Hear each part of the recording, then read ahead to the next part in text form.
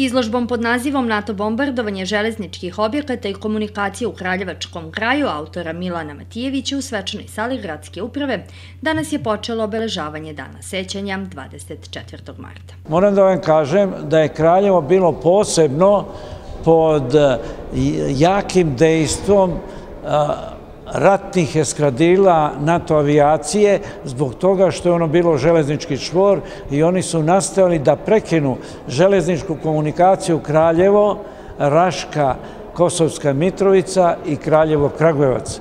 Upravo Društvo za negovanje tradicija oslobodilačkih ratova Srbije i ovog Kursula danas otvara ovim povodom izložbu gde, se, gde možemo da vidimo kako i na koji način su vršena razaranja ovih železničkih pravaca koje su bili u sastavu železničkog čvora Kraljevo.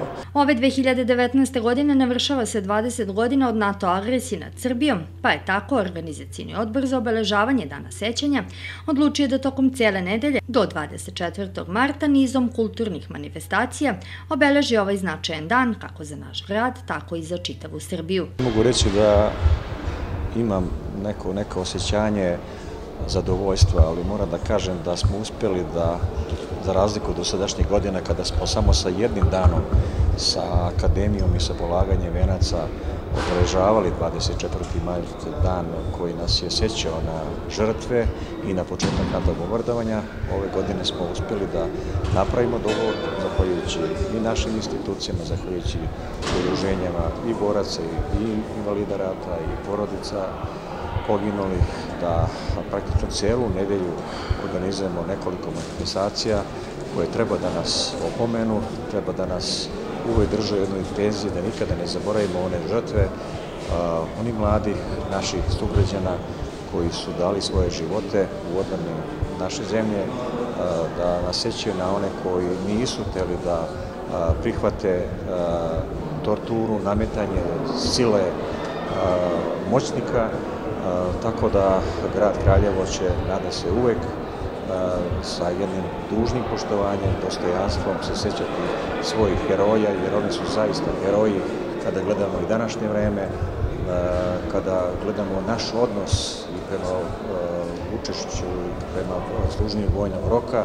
to su zaista heroji koji nijedno trenutka nisu žalili sebe, koji nisu imali rezerve prema tome da li treba, da li ne, tako da dubok naklon i pozivamo naše građane da se priključe ove nedelje i da posmatraju da li danas izložbu, da li sutra promociju knjigu, četvrtak takođe druge knjige i nada se da će ta herojska borba uvijek biti inspiracija svim mlađim generacijama. Utorak 19. marta sa početkom u 13 časova u svečanoj sali gradske uprave biće održana promocija monografije Kraljevo na putevima istorije autora Milisava Sekulića. Za četvrtak 21. marta u 13 časova u Galeriji Narodnog muzeja zakazana je promocija knjige spomenica poginulima u ratovima od 1991.